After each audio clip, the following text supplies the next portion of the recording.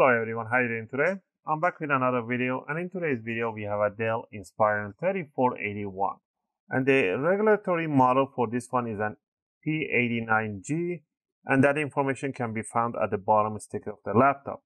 And in this video I'm gonna go over how you can open it up and how you can replace the battery or remove the battery or if you want to just remove it completely and is not going to affect your system or anything like that. You can use the laptop without the battery. That will be totally fine with no issue. Even it's going to work a little better. It will last you longer. The component is going to be less component working. The charger is going to last you long because there will be no more in it won't be much load on it. So yeah. So people ask me can i use it without the battery? Absolutely yes. And it's even better for the charger or for the motherboard all right, so let's get into it and open it up. First thing first, you want to power it off and you want to flip it upside down and you want to grab yourself the screwdriver set. I'll be using an iFixit screwdriver set as they have one of the best screwdrivers out there. These are made out of S2 class steel. That means they will last you many years. You want to grab a Phillips number one. If you get the Pro set, they will include you with an opening tools and some tweezers. But if not, get the basic. And for the opening tool, I'll be using a guitar pick. The guitar picks are really suitable to opening cases and covers. Alright, down here we're going to remove all these screws and loosen up three screws only. Because the three screws only have a C-lock, that means the screws will not come out entirely. And those are the screws on the left side when you're looking upside down, the fan at the back. These screws right over here, this one, this one, and this one's, they have a little C-lock that will prevent the screws coming out. Pretty much all you need to do is just rotate, rotate, until you hear a tiny click and you want to let go. Same thing. Click, let go. Few click, let go. Now, the rest of the screws will come out entirely, so go ahead and remove them. They are all the same size and height, so don't worry about mismatching them. Also, if you guys like my video and you want to support the channel, you can do that by clicking that like and subscribe. I'll greatly appreciate it. It helps and motivates me to make more videos, take requests, and answer your questions in the comment area. All right, now that we remove the screws right over there. Now, the reason that they have a C-lock on here is not just for fun. It's because once you open it up, the C-lock, will, what it does, it will push the cover away from the palm rest and it's easier for you to remove. So all you need to do is just continue putting the opening tool between the palm rest in here and just uh, rotate like this backward and work yourself all around in the front end. So pretty much I'm just working around and loosening up the cover. Do that to the front and to the side towards the back. And then close up the screen. Now you want to grab it from the front side and bring it up, wiggle it around, and it will release the bottom case right there. Now, right down here, you're going to see the battery right in front of you.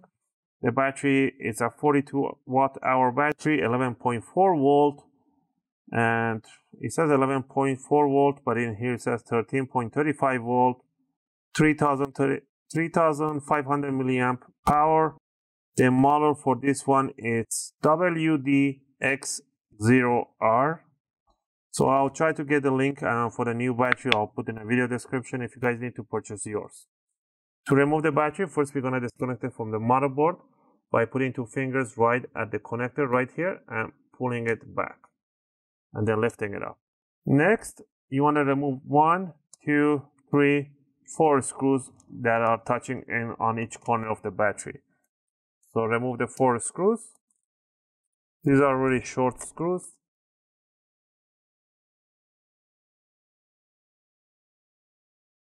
And if you guys wondered where is the BIOS battery, this is the BIOS battery.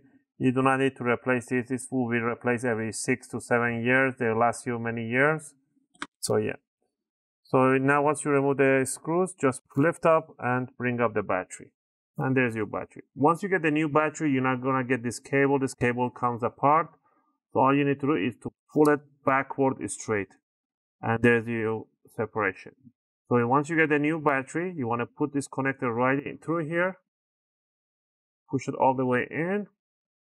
And is think it goes is for the speaker if this thing comes out I don't know why it came out it's for the speaker all you need to do is to lift up the speaker and squeeze this one right through the gap here to absorb the vibration and bring it up and stick it right there.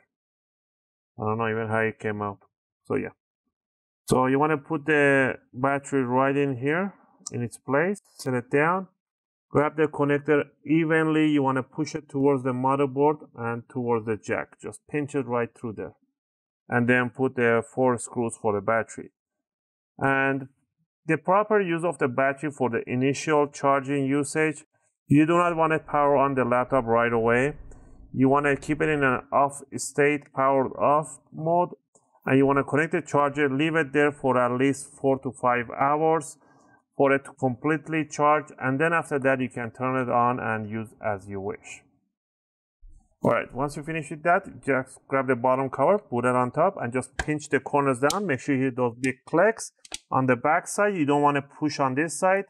The screws are going to do the job. Just screw it down, and it will pull the palm rest to itself.